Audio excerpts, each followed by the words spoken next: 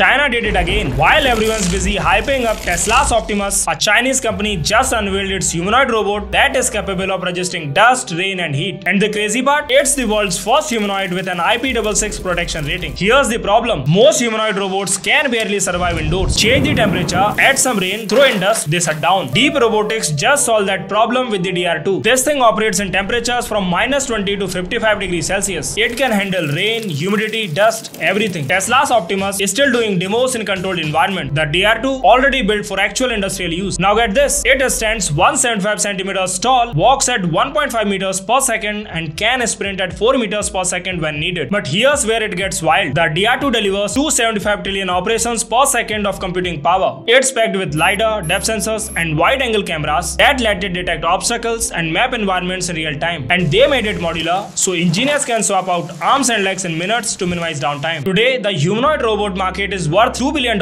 and it could hit $5 trillion by 2050. China deployed 2,95,000 new industrial robots in 2024, which is more than half of the 5,42,000 industrial robots installed globally. So China is clearly leading this robotics race. Share this if you think China just changed the game.